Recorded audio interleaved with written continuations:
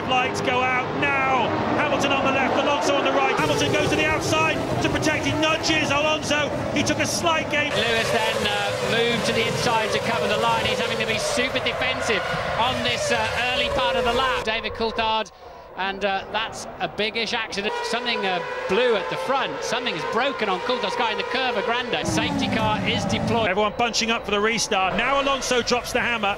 Hamilton looking uh, a little bit more secure in second place after this restart. Two McLarens, two Ferraris, two BMWs. As Felipe Massa comes in to retire this Ferrari.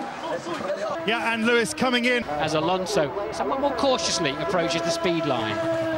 The out comes Alonso, and Hamilton is comfortably behind him. Rosberg and uh, Button are still going at it, hammer and tongs, and Jenson will not give up. Here comes part three or four, is it part five? Rosberg round the outside, into the Roggia chicane, Jenson takes curve, gives him the space, that was fair by Jenson. No Finnish driver has ever won a Grand Prix in Italy.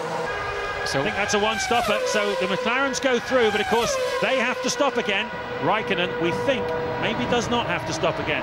Fernando Alonso, the reigning world champion, is leading his teammate Lewis Hamilton by five seconds now. This middle sector of the race has been all about Alonso opening up the gap over his young teammate. Currently, Hamilton only has 21 seconds over uh, Raikkonen, and uh, we believe that uh, Lewis is going to pit around about lap 38 or 39, so he does need to get on with it a little bit here. But this is for Lewis. Has he got enough in hand to come out ahead of Kimi Raikkonen? I don't be very close. I don't think he has. The Ferrari goes across the start-finish line, and he's about to take second place away from Lewis Hamilton. The crowd goes bonkers underneath us on the main stage.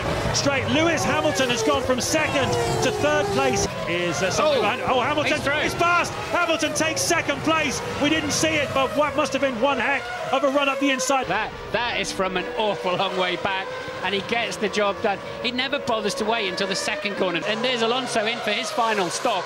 He should uh, resume the lead. Look at the, the crestfallen Ferrari mechanics. Heads in hands. Fernando Alonso, he's 7.8 seconds clear of teammate Lewis Hamilton. Out of the final corner then, the Parabolica comes. Fernando Alonso to cross the line and claim his fourth victory of 2007. Well, that was the sporting side of Formula One, and very good it was too. All eyes now on a Paris courtroom on Thursday to see what the real outcome of this year's World Championships will be. Sad, but true.